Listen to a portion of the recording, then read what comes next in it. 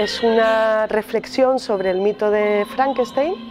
Eh, hemos reflexionado un poco si el mito naciera hoy, hacia dónde evolucionaría.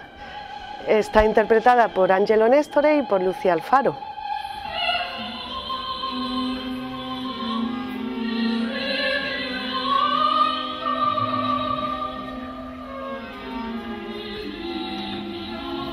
Si un niño pudiera vivir dos siglos y otro solo 80 años, porque sus padres no quisieron hacerle algunos cambios genéticos, no creo que estuviera muy contento con esa decisión.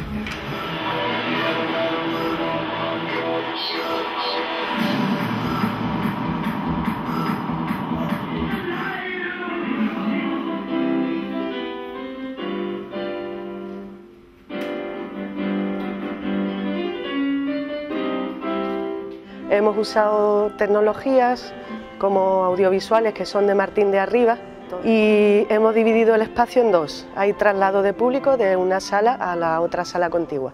Son dos estilos teatrales bastante diferenciados. La segunda parte es más, digamos, naturista y la primera es más teatralista. Los niños. Mañana vendrá el otro ¿Para qué?